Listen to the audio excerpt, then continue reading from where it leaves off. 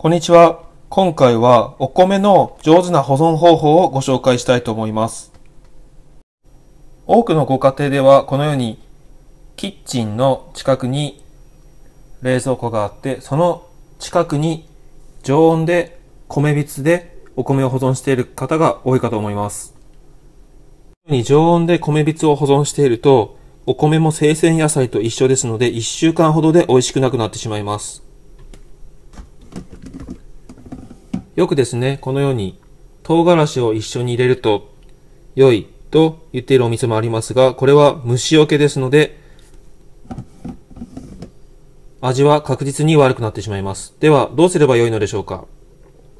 一般家庭でのおすすめのお米の保存方法は、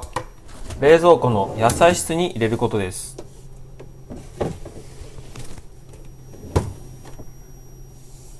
野菜室は温度設定が7度程度ですので、冷蔵室よりも少し温度設定がお米に適しています。このように冷蔵庫にお米を保存することで、常温保存だと1日、1、2週間しか持たないところが、それ以上美味しく保つことができます。冷蔵庫にお米を保存するときの注意点ですが、冷蔵庫から出してお米を測り取るときに長い間常温に置くと汗をかいてお米が湿ってしまいます。お米を取り出すときは素早く行いましょう。